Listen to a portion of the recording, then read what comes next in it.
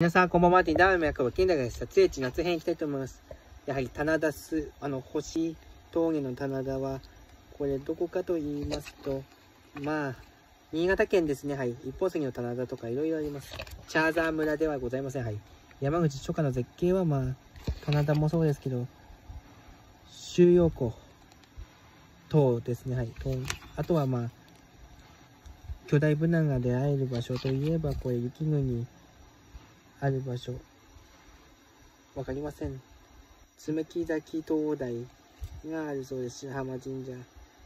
多分、静岡県ですね、これは。はい。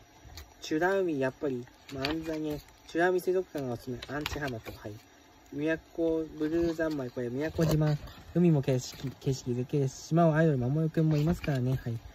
西表島の大自然も、マングローブの探索が一番ですね。八重山の島、いろいろあります。竹富島とか、はい、浜島、はい、美美唄の名所いろいろあります。パノラマロードとかいろいろなフラワー、紙フラムのおすすめです。新名所、綾香の里、ラベンダーが綺麗ですね。ひまわりも見れます。阿蘇、菊池渓谷、熊本ですね。はい、この渓谷見れるのね。はい。というわけで、まだまだあるんですけども、以上です。バイバイ。